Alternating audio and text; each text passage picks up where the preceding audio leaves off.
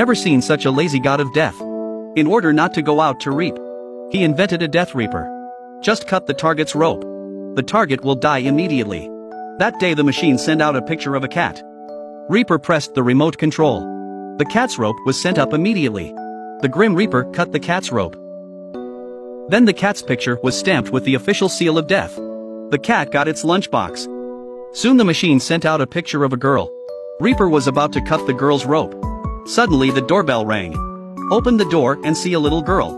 A little girl was holding up a picture of a cat. Asking if she had seen her kitty. This is not a coincidence. Reaper just got rid of this kitty. Reaper was a little weak. He didn't say anything back. At that moment, the girl looked into the house. She saw a room full of ropes. She happily squeezed into the house to play with the pile of rope. Death didn't care about the little girl. Just cut off her rope. But when he was about to pick up the rope, the rope was